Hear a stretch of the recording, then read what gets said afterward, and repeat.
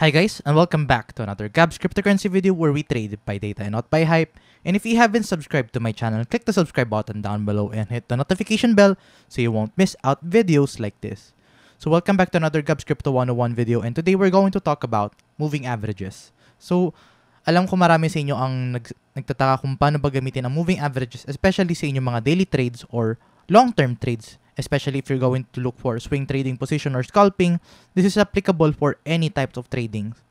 So, if you want to know how to set up these indicators, I highly suggest na you should watch out the first video which is how to set up these technical indicators. So, makita nyo kung paano ko sinet up itong 20, 50, 100, and 200 moving averages. So, let's dive into this video first. So, right now, we have here the moving averages. Yung mga moving averages can give us an idea kung saan ba tayo makakuha ng support and somehow our resistances. So yung previous video, pinakita ko din sa inyo kung paano ba kinukuha yung support and resistances on a straight line or a linear line. This time, papakita ko sa inyo kung paano ba kinukuha yung support and resistances in the moving averages. So right now, for the moving averages, ginagamit ko is 20, 50, 100, and 200. So ang purpose nun is, ito yung nagiging long-term support natin for the Bitcoin price. So for the long term, si 20, yun yung, yun yung ating kinukuha for the short term. 50 yung mid-term, 100 is actually the support for a bull market kay Bitcoin. And then the 200 would indicate yun yung pinakang last support natin for the Bitcoin price as yun yung fina-follow from the historical data. So, a moving average is yung average niya for the past amount of days. So, kung yari, yung 200 moving average is actually average price of Bitcoin for the past 200 days. So, ito naman yung red line. Ito yung average movement ni Bitcoin for the past 100 days which is yung red line. So, yun yung, ibig sabihin, no, yun yung average price niya. So ngayon, paano ba siya ginagamit for support and resistances? Ideally, what you should be doing is if we are if the price is below the moving averages, if it's below the moving average, that's a good buy signal. So if it's below, that's a good buy.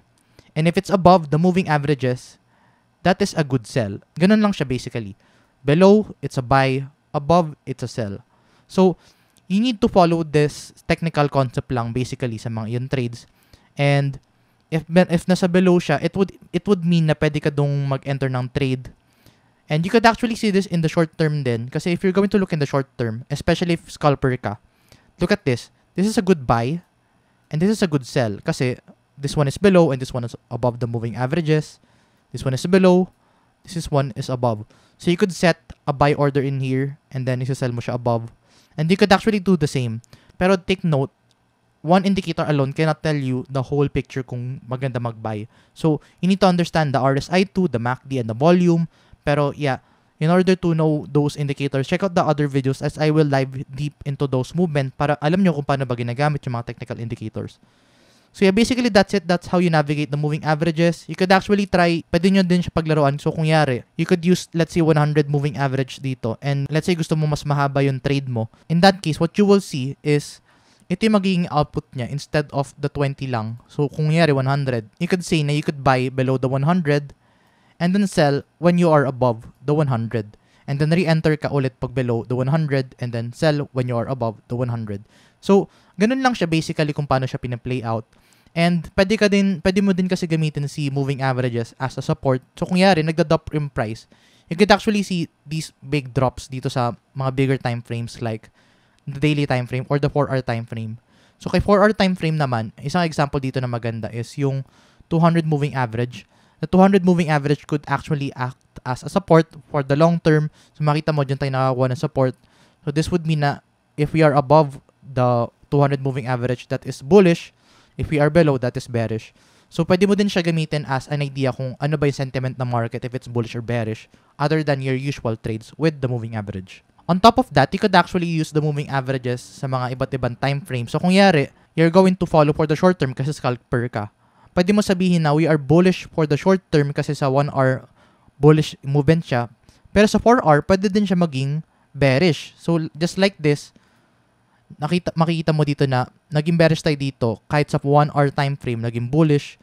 Nagdedepende din siya kung anong time frame yung titingnan mo.